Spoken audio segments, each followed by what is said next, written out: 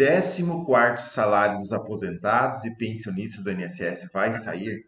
No vídeo de hoje nós vamos falar sobre isso, de um projeto de lei que já está tramitando, que começou de uma ideia legislativa, inclusive eu ajudei nessa ideia legislativa, e eu quero passar para vocês nesse vídeo os detalhes do 14º salário, como vai funcionar os valores. O autor de um dos projetos do 14º vai estar aqui em vídeo, eu quero que vocês assistam esse vídeo para vocês entenderem mais sobre o 14º dos aposentados, os pensionistas que está chegando. Tá? E vocês têm que entender como que funciona esse projeto, quais são os valores, e no vídeo de hoje vai ser declarado isso.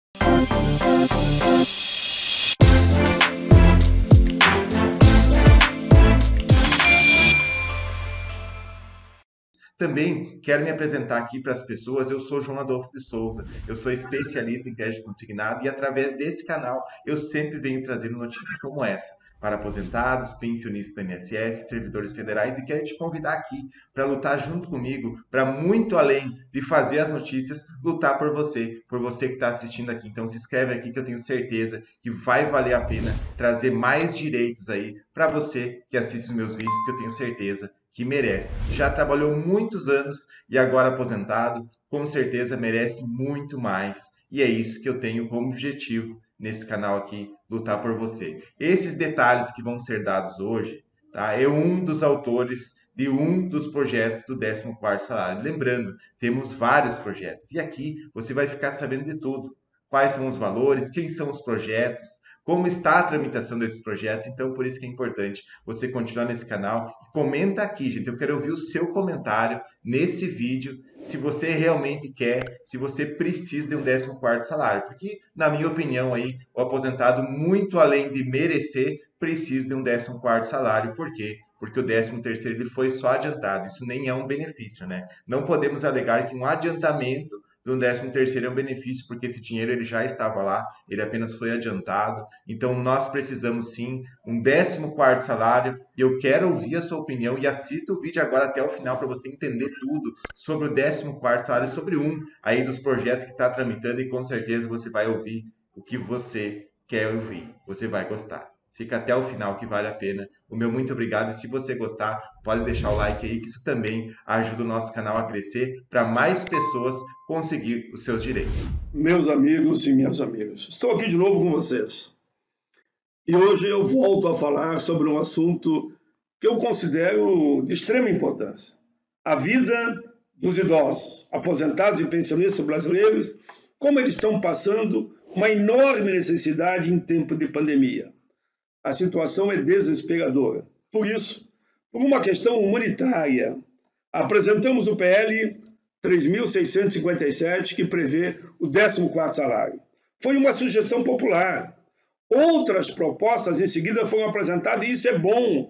É, é uma demonstração que os idosos estão se mobilizando e querem esse auxílio de emergência de fim de ano. Precisamos de rapidez, pois a situação está difícil. Quem sabe, a pensar todas as propostas Escolha um único relator, não interessa como é o mais antigo, mas que prevaleça o bom senso. Há hoje cerca de 35 milhões de aposentados e pensionistas do INSS. A ampla maioria, torno de 80%, ganham um salário mínimo, ou seja, em torno de 30 milhões. Vejam, numa situação como essa, em que eles estão sustentando filhos, netos, genros, ah, vizinhos mais próximos, é fundamental essa importância em dinheiro. Veja a importância aí então do nosso aposentados e pensionista no contexto familiar. A pandemia está fazendo um enorme estrago em toda a economia e na vida das pessoas.